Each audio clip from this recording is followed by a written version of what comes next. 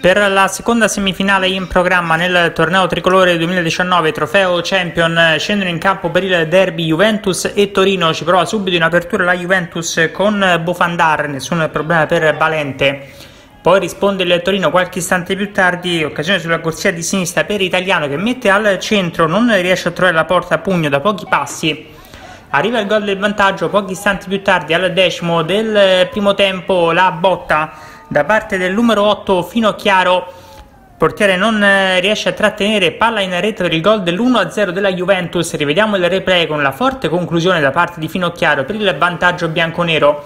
Ancora Juventus è pericolosa sugli sviluppi di un corner, qui ci prova il eh, numero 7 Nuti, buona la risposta da parte di Valente, poi ancora Juventus è pericolosa sempre sugli sviluppi di un cross dalla corsia di sinistra, palla sul fondo, prova a rispondere il Torino, il tiro cross da parte del numero 7 Dimitri, palla sul fondo, poi ancora Juventus nel finale della prima frazione, qui si salva in due tempi Valente.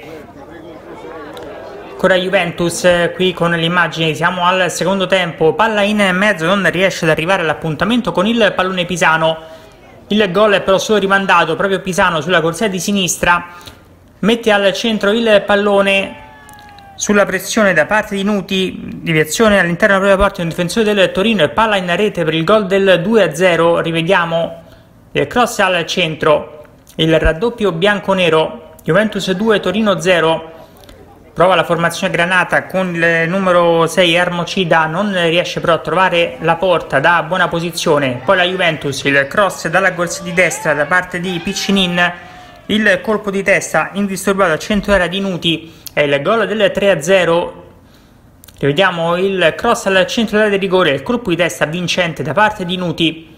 Il tris bianco-nero nel finale, splendida azione corale della formazione juventina. Il pallone sulla corsia di sinistra per Brossa che mette al centro il pallone, arriva Pisano che riesce a mettere in gol per il gol del 4-0. Rivediamo il cross da parte di Brossa Pisano con il piatto destro, palla in rete, poker bianco-nero di lì a poco arriva il triplice fischio finale con la Juventus che batte 4-0 il Torino nel semifinale e si qualifica per la finalissima dove troverà la Fiorentina.